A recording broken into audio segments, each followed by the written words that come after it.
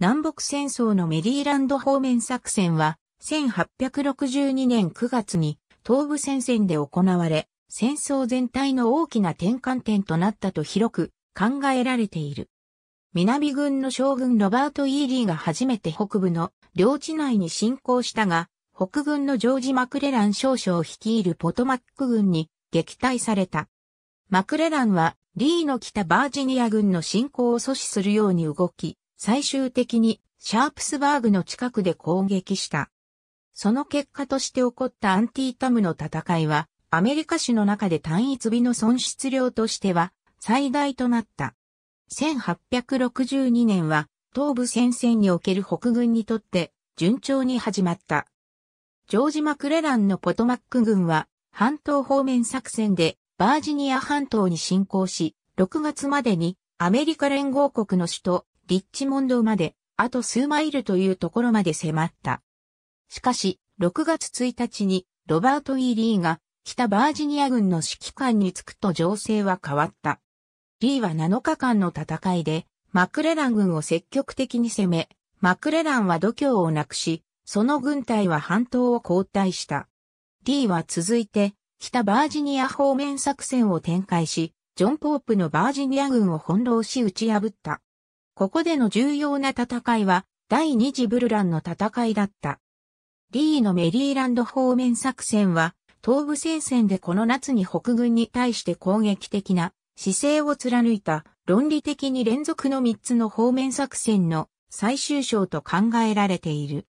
南軍はこの夏の方面作戦で大きな人的損失を受けた。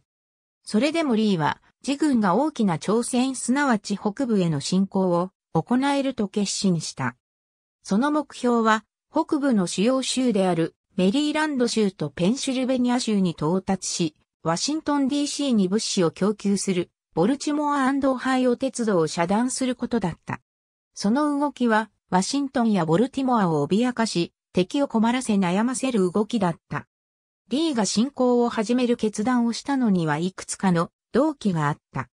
第一は、その軍隊の物資を補充する必要があり、バージニアとは異なりまだ戦争の余波を受けていなかった北部の農園について知っていたことだった。機体戦場が動くことは、バージニアにおける圧力を減らすことだった。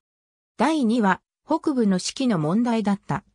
リーは北軍を打ち破ることで、南軍が戦争に勝ちを収めるわけではないことを知っていた。単に北部の人民や政府がもう戦いを続けたくないと考えさせればよいことだった。この年の11月に連邦議会議員選挙が近づいており、北部内で侵略軍が大混乱をもたらすことで、議会内の民主党勢力を高め、エイブラハム・リンカーンが戦争を終わらせる交渉を始めざるを得なくすることになるとリーは考えた。リーは9月3日にアメリカ連合国大統領ジェファーソン・デイビスに宛てた手紙で敵は大変弱っており士気が落ちていると告げた。ここには二次的な理由もあった。メリーランド州は特に奴隷保有州であり、その市民の多くは南部に対して同情的な立場にあるとすれば、州内で反乱を引き起こすことができる可能性があった。ジェファーソン・デイビスを含みアメリカ連合国の政治家の中には北部領内で軍事的勝利を得れば諸外国がアメリカ連合国を認知する可能性が強くなると考える者がいたが、南部はこの可能性に軍事作戦を基づかせるべき鳥居が考えた証拠はない。それでも第二次ブルランの戦いの勝利とリーの侵攻開始の知らせはアメリカ連合国がフランスやイギリスとの外交交渉を始めさせる推進力となった。メリーランド方面作戦9月3日から15日の動き。南軍北軍シャンティリーの戦いからわずか2日後の9月3日、リーはデイビス大統領に宛てて大統領が反対しなければポトマック川を渡ってメリーランド州に入る決断をしたと書いた。同じ日、D はシャンティリーから北と西のリーズバーグに向けて自軍の移動を開始した。9月4日、リーズバーグ近郷でポトマック川と下点を確保するための騎兵同士の海戦、ミルヒルの戦いが起こった後で、北バージニア軍の一隊がラウドアン郡からポトマック川を越えてメリーランド州内に入った。北バージニア軍の主力部隊は9月7日にメリーランド州フレデリックまで進軍した。総軍5万5千名の軍隊はリッチモンド守備についていた D.H. ヒル少将とラファイエット・マクローズ少将の各師団とジョン・ジー・ウォーカー准将の2個師団によって補強されたが、これはブルランやシャンティリーで失われた9000名を補充したに過ぎなかった。リーの進行と時を同じくして南軍による他の戦略的構成も始まった。ブラクストン・ブラックとエドマンド・カービー・スミス両将軍は同時にケンタッキー州への侵攻を始めた。ジェファーソン・デイビスは3人の将軍たちに空白を残した大衆向け声明文を送っており、その空白には南軍侵攻軍が到達したどの州でもその名前を記入できるように考えていた。デイビスは大衆になぜ南部がその戦略を変えているように見えるか説明する文章を書いた。この時点までアメリカ連合国は武力侵略の犠牲者であり、外国の侵略に対して単に自国を防衛していると主張していた。デイビスはこの時も自国防衛のための戦争を遂行していると説明した。征服の意図はないと付け加え、侵攻はリンカーン政府に南部との休戦を強制するための攻勢に過ぎないとしていた。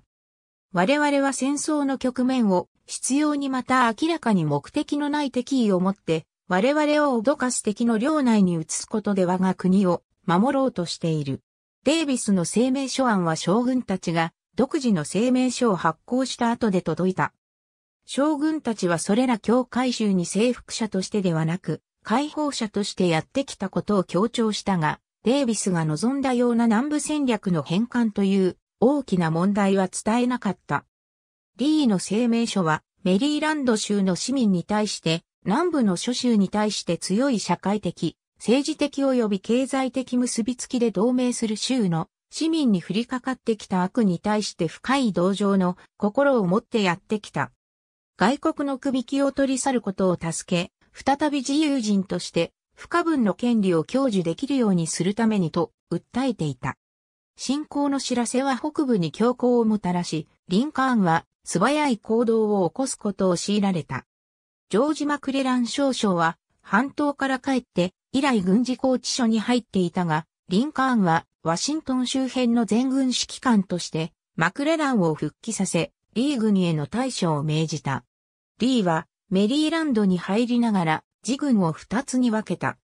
ペンシルベニア州チェンバーズバーグにおける軍事行動の情報を得た後で、ジェームズ・ロングストリート少将をブーンズボロへ、続いて、ヘーガーズタウンに派遣した。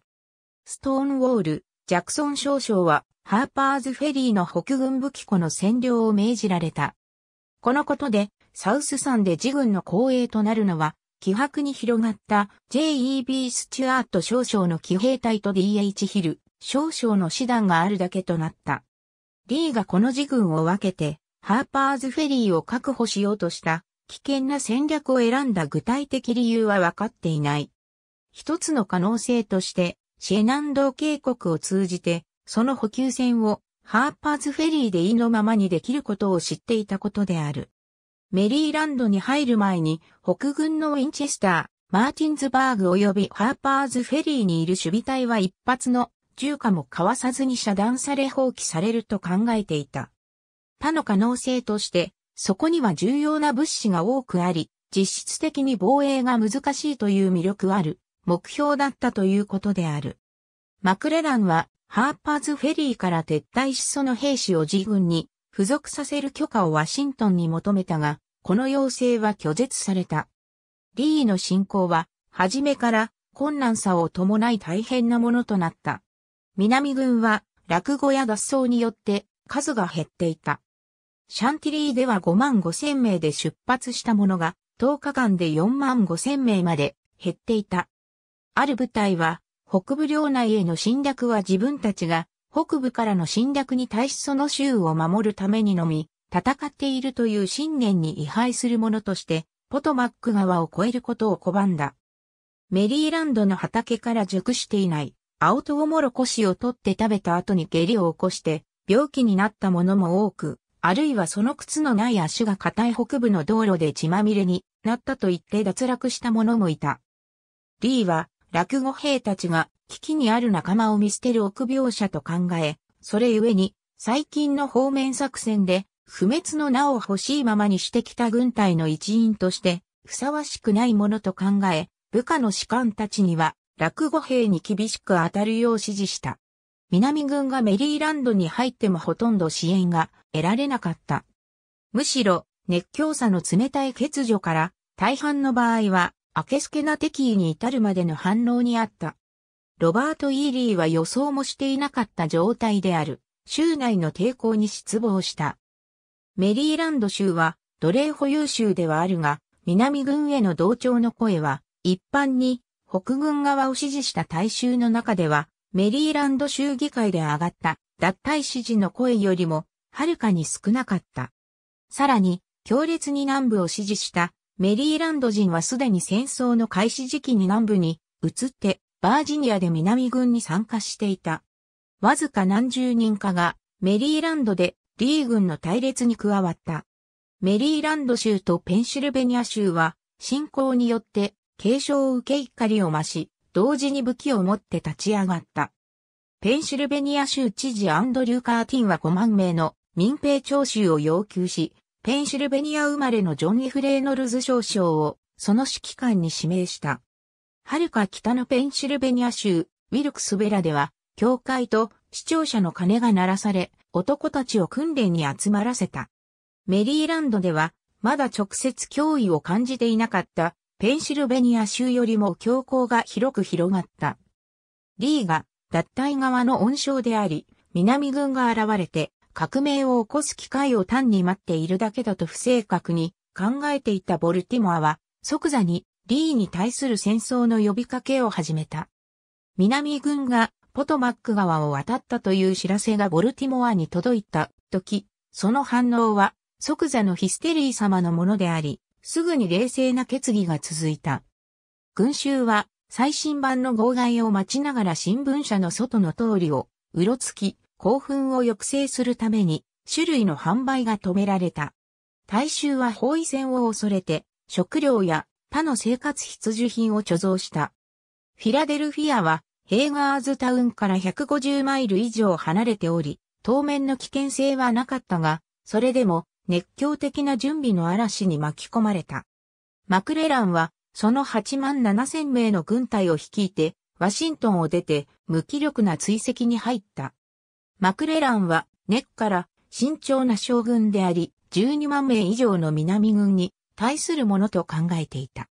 また、ワシントンの政府との議論を続けたままであり、首都を防衛する部隊が彼のもとに出頭するよう要求していた。ポトマック軍は9月13日にフレデリックに到着した。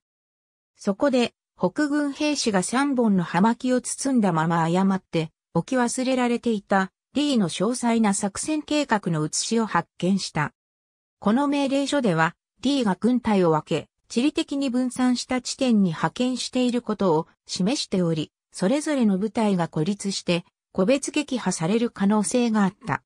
マクレランはこの情報の利点を生かすための決断をするまでに18時間も費やした。その遅れにより、リー軍を打ち破る機会を逃した。9月13日の夜、ポトマック軍はサウス山に向けて移動し、アンブローズ・バーンサイド少将の翼は、ターナーズ・ギャップにウィリアム・ B・ フランクリン少将の翼は、クランプトンズ・ギャップに向かった。サウス山は南軍がメリーランド州に入った後で、ブルーリッジ山脈につながる山に付けられた名前である。メリーランド州の東部をシェナンド渓谷とカンバーランド渓谷から分ける自然の目印である。サウス山の峠を越えていくのがリー軍に出会うための唯一の道だった。リーはマクレランの性格にしては攻撃的な行動を観察し、また南軍同庁者から D の命令が敵に漏れていたことを知って、すぐに自軍を集結させることにした。その進行を捨てて、バージニアに戻るという選択はしなかった。それは、ジャクソン軍がハーパーズフェリーを完全には制圧していなかったからだった。その代わりに、シャープスバーグで陣を構える選択をした。一方で、北バージニア軍の一隊がサウス山峠で防御陣を敷いて待機した。メリーランド方面作戦では、4つの重要な戦闘があった。リーはメリーランドに侵略した後で、ハーパーズフェリーの北軍武器庫守備隊がまだ撤退していないことを知り、これを包囲して捕獲し、それによって自軍の供給線に対する脅威を取り去る決断をした。リーは自軍を4隊に分け、そのうち3隊をジャクソンの指揮下につけて、ハーパーズフェリーに集中させた。9月15日、北軍の指揮官ディクソン・ S・マイルズ大佐によって、まだ適度に防御が施されていなかったハーパーズフェリーに対し、南軍の大砲が街を見下ろす高台に据えられた。南軍は前面から守備隊に砲撃をかけ、マイルズが1万2000名以上の守備兵と共に降伏した時は歩兵による攻撃の準備をしていた。マイルズは最後の集中砲火によって致命傷を負った。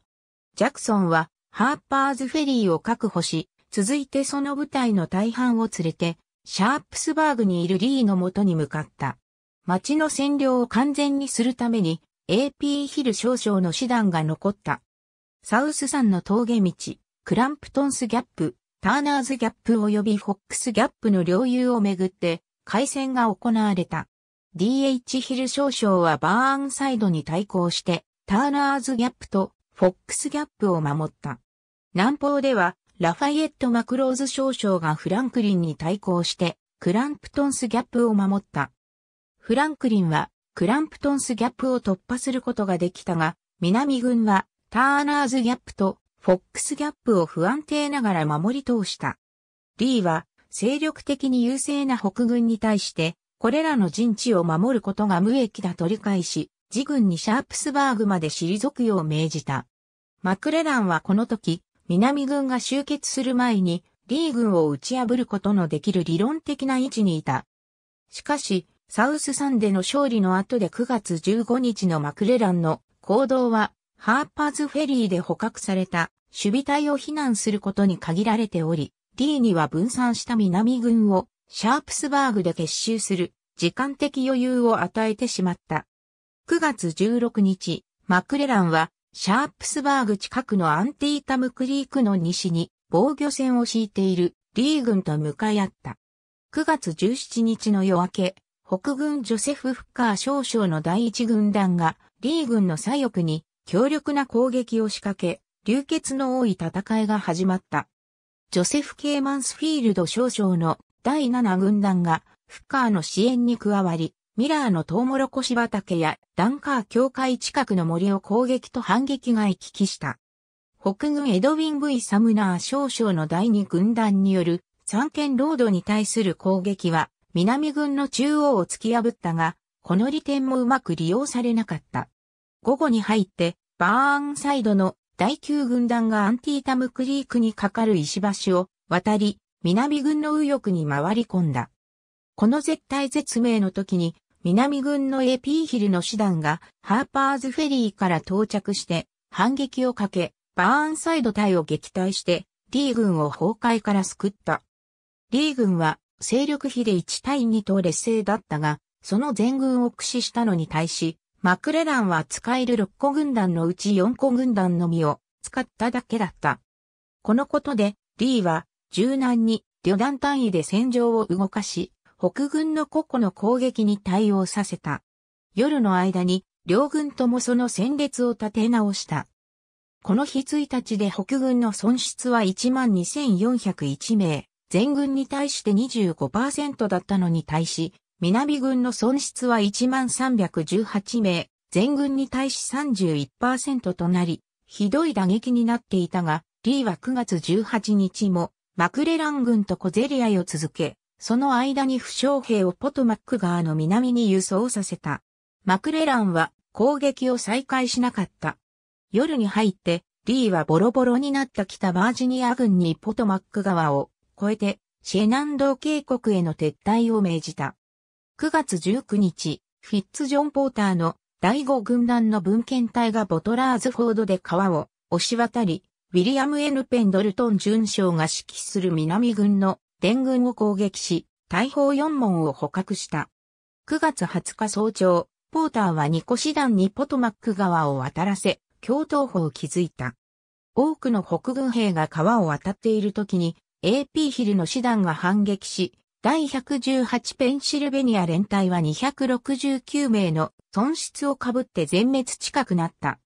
この伝軍の行動で北軍はそれ以上追撃できなくなった。リーは、ポトマック川を渡る撤退をうまく成し遂げ、メリーランド方面作戦すなわちこの夏の方面作戦すべてを終わらせた。リンカーン大統領はマクレランの仕事ぶりに失望した。戦場での将軍の用心深さと共同行動のお粗末さが南軍を徹底的に打ち破る代わりに引き分けに終わらせたと考えた。さらに9月17日から10月26日まで、陸軍省や大統領からの繰り返し嘆願にも、かかわらず、マクレランは、兵器の不足や、軍隊の使いすぎの恐れを理由に、ポトマック川を越えて、リー軍を追求することを辞退したことに驚かされた。総司令官ヘンリー・ハレックは、その公式報告書で、打ち破られた敵を前にして、また急速な移動と活発な作戦行動に最適の季節にこれほどの大軍を長く使わないでいることは大きな失望と後悔の事態であると書いた。リンカーンは11月7日にマクレランをポトマック軍指揮官から解任し、マクレランの軍歴は事実上終わった。アンブローズ・バーンサイド少将がポトマック軍指揮官に昇進した。東部戦線は12月まで比較的静穏であり、その後リーはフレデリックスバーグの戦いでバーンサイドとも見えた。アンティータムの戦いは戦術上引き分けだったが、北軍にとって戦略的勝利となった。リーの戦略的北部侵攻を終わらせ、エイブラハム・リンカーンには9月22日の奴隷解放宣言を発する前に欲していた勝利をもたらした。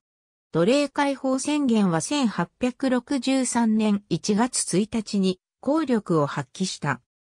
リンカーンは、この宣言をもっと早く発したかったが、それが絶望的状況から発せられたという認識を避けるために、北軍の勝利の後にした方が良いという内閣の助言に従った。アンティタムにおける南軍の反転は、フランスやイギリス政府がアメリカ連合国を認知することを思いとどまらせた。また奴隷解放宣言の発布により、今後戦場で勝利を収めたとしても、外国の認知を促すことはありそうもないことになった。リンカーンはアメリカ連合国の心情として効果的に奴隷制に光を当て、フランスやイギリスはその奴隷制に対する嫌悪感によって南部のために介入することもできなくなった。ありがとうございます。